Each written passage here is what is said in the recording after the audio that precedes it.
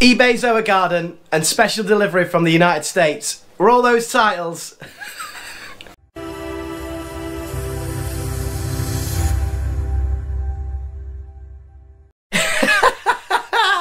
I've always wanted to say that on my channel and now I can thanks to the bearded reef Ross up in Scotland who made me my intro titles. Well this video today is an update on the tank, my new eBay Zoa Garden and a special delivery from the United States. But we all know what 2021 is all about. 2021 is all about bringing this Red Sea Max Nano tank to maturity with beautiful corals, fish life and invertebrates. So what are we waiting for? Let's get started. Many people in the comments to my videos say go on eBay, go on eBay, buy yourself some corals, there's some great choice. And I went on, dangerous this was, late at night, half 11, looking on eBay, and I looked at Zoas. Now, there is so much choice for Zoas on eBay. Single polyps, double polyps, colonies, and they all look absolutely stunning. So I was sucked in to the eBay machine of coral shopping late at night on Monday. So, I'm going to show you what I purchased. Let's take a look at my first purchase and see how it went. My Raptor Zoas. Here we go. Let's have a look. We ordered? I've ordered these. So I've ordered some, hopefully that's coming out in the video, some um, Zoa Raptor Rainbow Colours. Three polyps or three heads for $22.99 plus $9.99 delivery from they do look really good, don't they? Uh, this is a WYSIWYG. I know on my previous videos uh, I uh, didn't always, well, my Duncans weren't WYSIWYG. These are WYSIWYG. So these should look exactly the same as the picture. I've paid $32.99 for these three polyps, uh, again, which is quite expensive, and I've purchased them from uh, Tanktales on eBay. Tanktales, if you know him, I don't know. Um, look at the ratings. So he's got 100% positive feedback. He's had over 1,800 uh, comments and then he's got lots of frags. So this guy seems uh, pretty good. What I would say first of all is the communication has been absolutely brilliant. He messaged me to say, uh, are you going to be in on Wednesday if I send out the corals? And to his word, he sent them to arrive on Wednesday morning. They came raw mail. They are uh, well packaged and on time. So let's let's take a look at what we've got as we go through. So it's on a, a tiny piece of it'll look like rockscape. And we've got two and one tiny head there. But as you know with these zoas they can grow really really quickly. So that's there. I'm going to put a few dips as I always do hopefully of Coral Pro RX when that arrives in the next day or two but a few dips of this into that.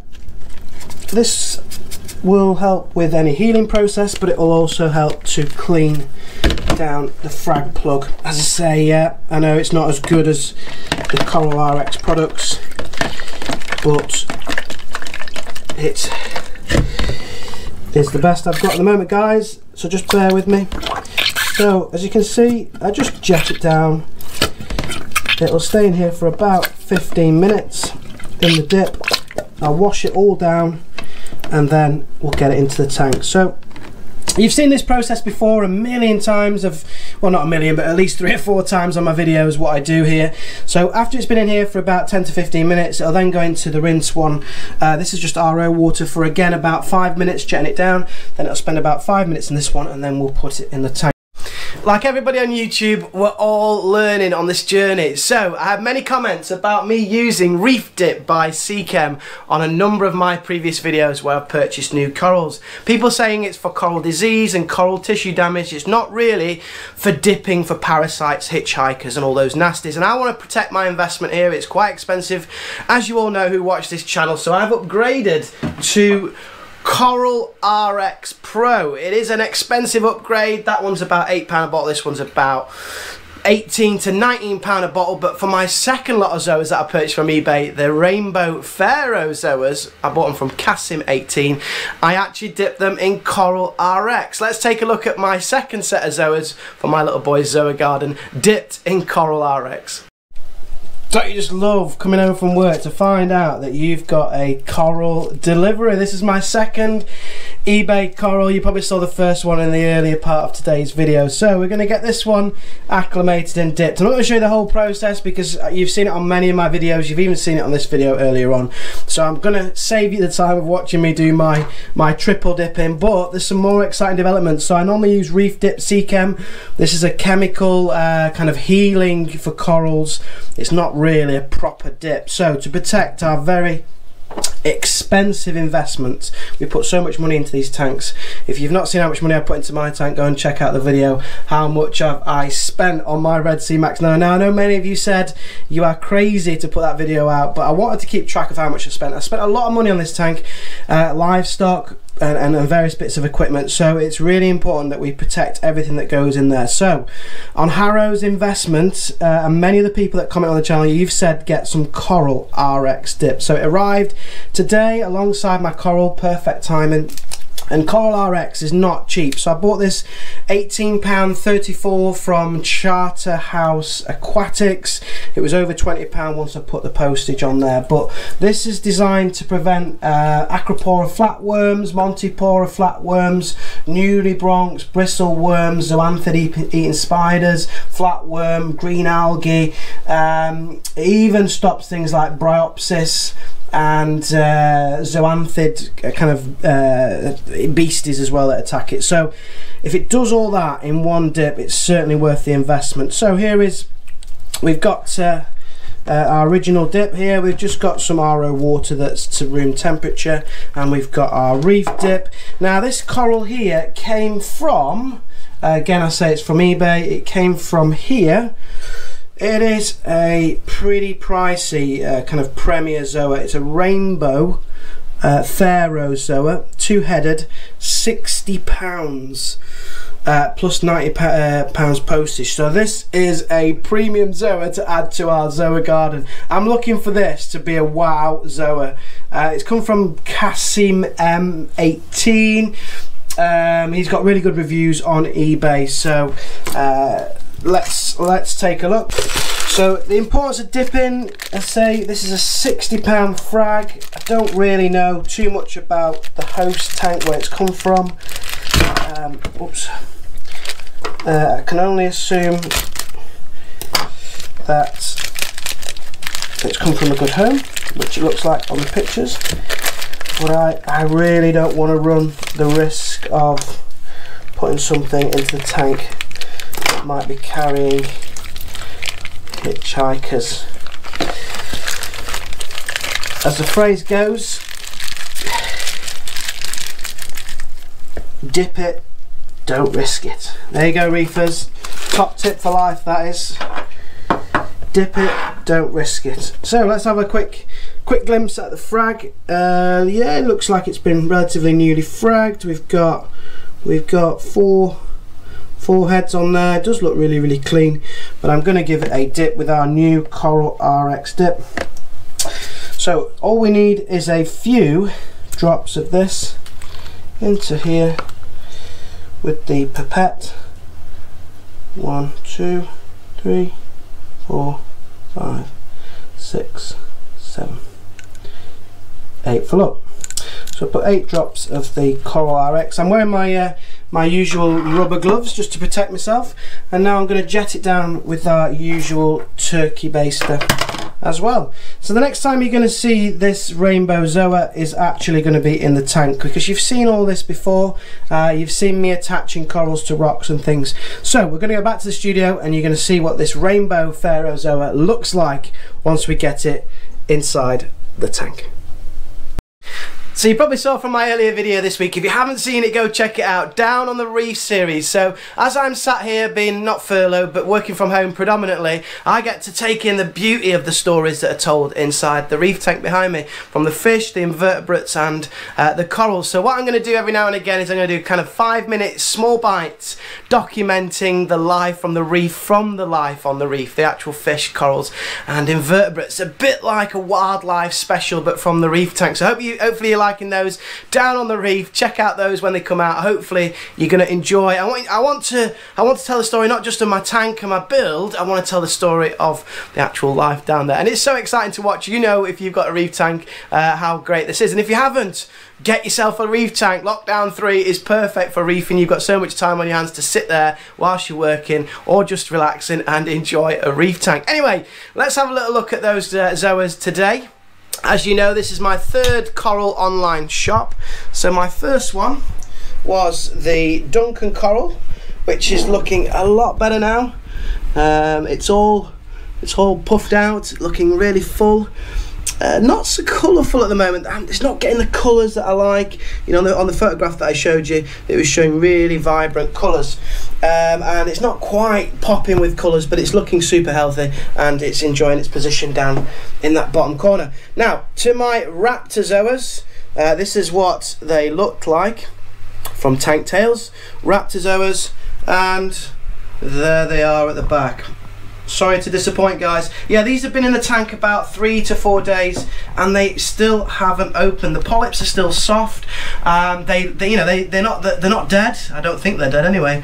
Um, but at the moment I'm just waiting for them to open out. I'm going to perhaps reposition them in the tank to see if I can get them to open up quickly. So uh, the Raptorzoas, I still don't know what they look like. I say this is the beauty of online shopping because it's the surprise of um, you know, seeing what you've actually purchased, but mine still haven't opened up yet. So, uh, any tips for getting your um, your Zoas to open? I did watch Reef King's video and put them under fresh water for a little bit of time, run them under fresh water, which I've tried, but that still hasn't helped them to work. Right, my last ones were the Rainbow Zoas. Look how beautiful they are. Right, they're round here, as you've probably seen from my previous video. Again, you're not getting the best lighting but there they are. They're looking pretty cool actually. They've opened up kind of partially opened up but that's what they are. But I'm gonna say this. Thank you to all the uh, uh, Fraggle Reef tail tanks and Kasim 18 uh, for getting me my uh, corals. And they are all arrived you know alive and, and well packaged. However I'm gonna say this. I'm not doing any more online coral shopping I'm going to wait till I get to Cellar Marine. Now you can probably see my other corals that I bought. I bought them from Cellar Marine, Stoke-on-Trent. I actually went into the shop and picked them out. I don't think there's a substitute from going in a shop, actually seeing the corals under the light and looking at, at looking at them before you purchase them. And these are expensive items. You know, I've spent uh, well over a hundred pound on those three corals, and they're not. They right uh, this is how I describe it. They look like a McDonald's menu. Yeah, you know when you see McDonald's menu, I think there's some really good photography going on with all these filters and cameras that people have got. And you see your, but you see your big tasty on the menu. You see it up there, and you think, oh god, that looks so good. And then when you get it, you've got one scraggly bit of lettuce in there and it you know it never looks like the picture and that's what I'm finding so I'm going to go back to uh, visiting the shops to go get my corals. Um, that's what that's just a decision I made. And the beauty of that is I'm going to take you guys with me. I do want to check out a few more shops. Uh, obviously I do love Cellar Marine. It's an absolutely brilliant shop. Get a chance go and visit it. Uh, but I'm going to try out Future Frags. I think that's also in Stoke-on-Trent Way and Wharf Aquatics which is in North Derbyshire. So I'm going to spread my wings and go and visit some other ones. Anyway let's have a little look at my special delivery from the USA. Now, I think most of you will probably guess what this might be because a few of you have probably either got one of these or wanted to get one or thinking about getting one uh, in time. So it came with UPS. Now, just by showing you the box, you can probably guess what this is. Yes, I've already got one I know I've already got one. I've got my D&D jump guard, which I absolutely love, by the way. This has saved me an absolute fortune. If you haven't seen my video about D&D jump guard, check it out on the channel, uh, how I built it. It is a lovely lid, and I don't really want to get rid of it. It's a sleek design. It's well put together. It saved my radions from hitting the water, uh, so that saved me about £400. And I'm not joking, it stopped the goby from jumping out at least 20 plus times. So it's been worth its weight in gold and it's not going to be thrown away. However, I've gone for what, well, the Rolls Royce of lids, in theory. So before, well, in October, in October I purchased this um, from Clearview Lids and it has arrived, October I purchased it and it has arrived today and I am so excited because I'm actually unboxing this on the video live right now as you can probably see. So it is a laser cut lid and there it is. Now um, it's the exoskeleton so it comes in different sections there and it's got one feeding door or trap door here and that is what it looks like. Now it's come very well packaged. It has got behind it some kind of cellophane, protective cellophane, but that looks really good. Nice clear view mesh as well. Um, so what I want to do is I want to get it on the tank and I'll show you it once I've removed the, the cellophane kind of packaging and I'll show you what it looks like. Now what I'm really excited about is the lighting effect that these give. When you've got the, the radio, or you've got any um, reef lights, it shines through the actual uh, lid and it looks like a really cool effect. But anyway get back to you in the video once I've got it fully fully unpackaged. But that's it. The exoskeleton lid from Clearview for the Red Sea made to measure Max Nano. Let's have a little look at it on the on the on the tank. So now we've got it all unpackaged, this is what the exoskeleton lid looks like. It's small sections looking like a child's jigsaw that fit together with mesh in between. Uh, this one's got one large door, so you can really personalise it to how many doors you want, how many cutouts you've got. Mine's got one little cutout there in the top left hand corner just for my uh, temperature thermometer bar and the wave maker lead. So I've got one door. Originally I actually asked for three doors, one on either side and then one at the front and they got back to me and said uh, it's really not going to work. You're going to have more doors than actual lid. So we recommend you just go for the one door on the front section so that's what it looks like and this cost me 169 pounds and then I think the, the, the transportation took it over 200 pounds so this is uh, an expensive buy especially for a tight Yorkshireman like me. But let's have a little look at how it, it sits on the tank and uh, give you a view of this one. So I'm just going to slot it on there and get you off the stand. Now, no surprise, it sits absolutely flush to the tank. Um, they make these for all different sizes of tanks. I wouldn't be able to afford one if I had a big tank. Uh, I don't know what they cost, but there's a little feeding door. It kind of slots in. Really thick, um, is it PVC or acetate plastic? But there you go. You've got the exoskeleton gives you far more spaces, so it allows the, the lid to breathe, less condensation, and so that's what it looks like. There's the little cutout there for the wires. I will put a link in the description for this video, uh, Clearview lids. I know there's some people in the UK that also do these lids as well but uh, I, I just went for the I just went for the Clearview because I've heard really good things about it. But there you go. How does that look? Yeah I do love my D&D jump lid still. I've got no problems with that. In fact for the money you cannot go wrong with a D&D jump lid but that now is starting to look pretty pretty special. So back to the studio so I want to wrap this video up and if you're still watching, thank you so much for watching this extended version of Jay's Real Reef UK. I want to wrap it up by giving you a few updates on the tank itself and then some special mentions to some people and channels that I've come across very recently. So what's happened with the tank? The, the phosphates are a little bit high in my tank at the moment. I measured them yesterday, they were 0.16 parts per million. So I am going to do a bit of maintenance today. I'm going to change out the, the I'm going to wash out the filter sock. I'm going to change the Rowaphos and I'm going to clean out the skimmer. So there's a little bit of maintenance for you. Someone did comment on one of my previous videos, said your sand is really clean. I've never actually uh, thought about that or noticed that, but I do vac the sand.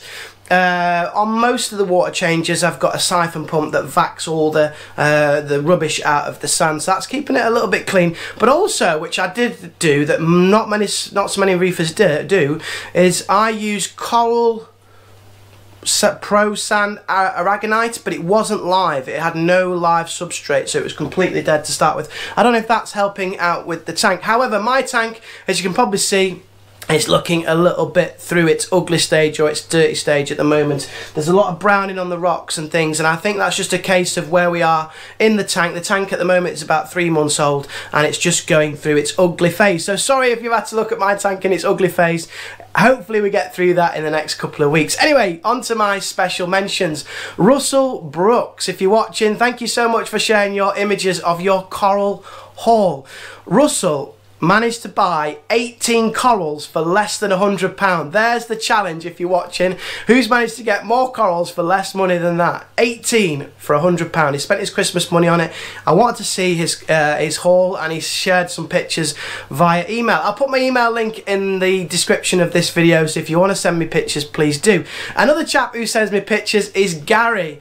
Uh, Gary thank you for your images. He's got two tanks. He's a lucky, a lucky chap. Uh, he's got two tanks. One for him which looks absolutely stunning. But I love his daughter's Fluval Evo. Fully stocked with corals. He's even got a tiny little pufferfish in there, which looks really, really cool.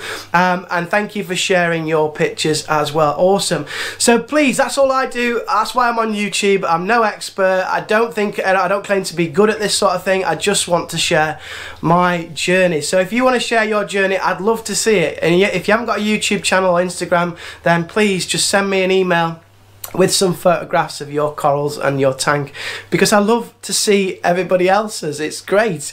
Special mentions. I'm going to go to Reef CT7. He's got a channel on YouTube and he goes round his uh, his tank talking about his corals, doing a coral update and talks about the key of patience. So Reef CT7, check out his channel. It's really good. Obviously Bearded Reef, get onto him. He's awesome. A couple of new channels that I've just subscribed to that I'm really enjoying is Colette's Reef. You're doing a great job. I am jealous of all the corals that you've got in there and you've also got merch so I need to get on with this because I'm falling behind. I've only just got a logo sorted uh, and an intro but you are well ahead and I'm loving watching your channel as well. And last but not least JD Reef. JD Reef I think it's been going for ages but I've only just discovered his channel.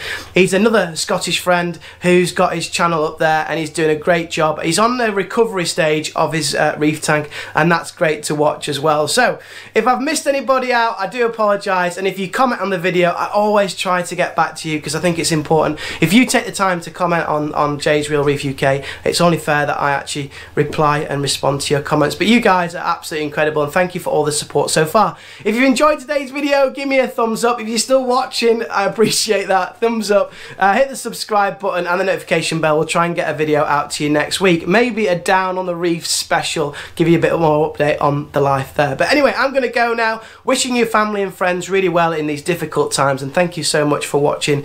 I really appreciate it and for now, take care. Thank you.